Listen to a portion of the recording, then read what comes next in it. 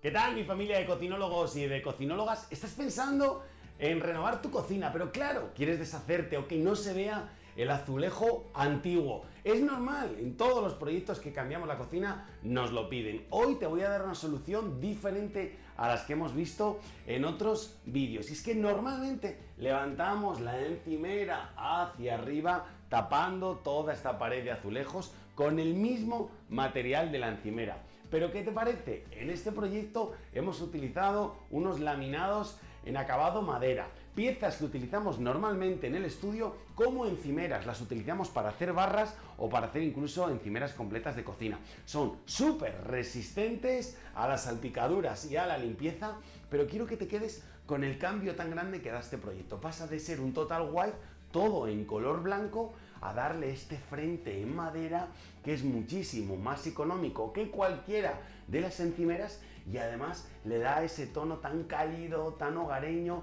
que combina perfectamente. Así que conseguimos Tres puntos súper importantes en un solo movimiento. El primero, librarnos de todas las juntas a la hora de limpiar. El segundo, tapar los antiguos azulejos de la cocina. No me digas que en algunos de los proyectos no tenéis una cenefa por el medio de la cocina horrorosa que queréis tapar. Pues en el punto 2 taparíamos toda esa cenefa. Y 3, le damos ese aire tan cálido y tan bonito a la cocina simplemente con una pieza en madera. Espero que este vídeo te haya servido para coger ideas. Yo soy Daniel Colino. Nos vemos próximo vídeo. Adiós.